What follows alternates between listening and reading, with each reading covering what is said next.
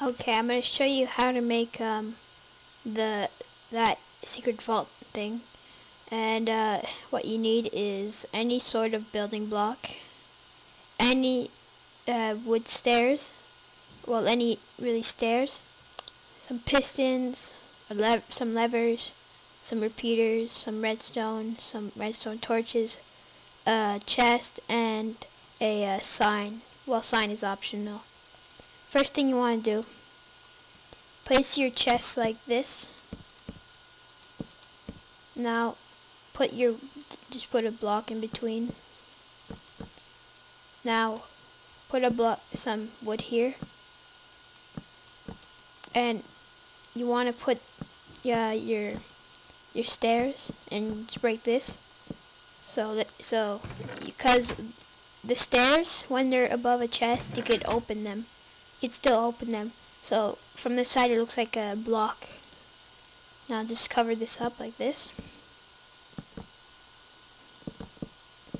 Now put some blocks here. I'm going to turn it to day, time set zero. Uh, now put pistons here, like that, and put some wood like this. So when you press the lever, all these pistons are going to activate and block the chest from opening. Now just do this and put a line of redstone like that. And you can lead it to a lever or a pass lock. And uh, I'm not going to be showing you how to make the pass lock on this video. So yeah.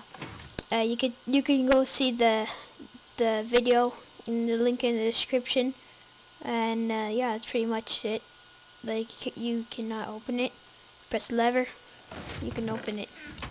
So you can use these in like faction servers to protect your stuff. And I find this really useful. And uh, so yeah. Please subscribe and like and leave a comment if you like. And yeah. And uh, please subscribe to this guy. He'll an annotation will be there and he helped me put uh, make thumbnails, play uh, custom maps for me. So please subscribe to him. Uh, and yeah, uh, please and bye. That's pretty much it.